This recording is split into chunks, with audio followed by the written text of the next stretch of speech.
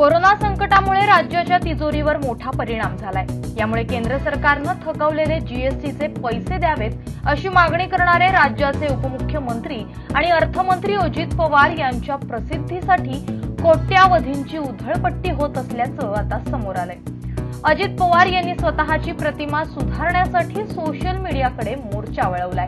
YouTube Facebook Twitter अशा माध्यमातून चांगली प्रतिमा तयार होण्यासाठी वर्षाला तब्बल सहा कोटी रुपये खर्च करण्याची तजवीज महाराष्ट्र शासनाच्या वतीनं मंजूर करण्यात आली आहे. आणि याच मुद्द्यावरून भाजपचे नेते आणि माजी खासदार निलेश राणे यांनी अजित पवारांना लक्ष केलंय.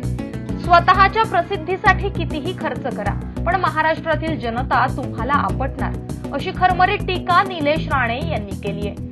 डॉक्टर नर्सेस पोलिसांचे पूर्ण पगार द्यायला राज्य सरकारकडे पैसे नाहीत. पण स्वतःच्या चमकोगिरीसाठी उपमुख्यमंत्र्यांनी पाच कोटी अठ्ठ्याण्णव लाख दोन हजार चारशे कोटी रुपये काढले.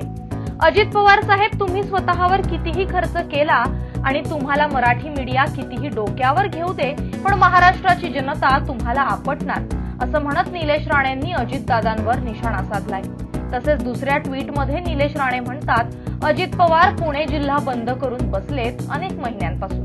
लोकांना भिकेला लावतायत तिकडे. बाराशे कर्मचारी संबंधित विभागात असताना फक्त स्वतःसाठी कोरोना काळात प्रायव्हेट एजन्सीवर एवढा खर्च कशासाठी?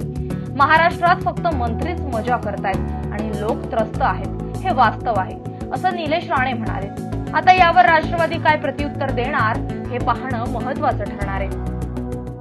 Bureau report Maharashtra news twenty four.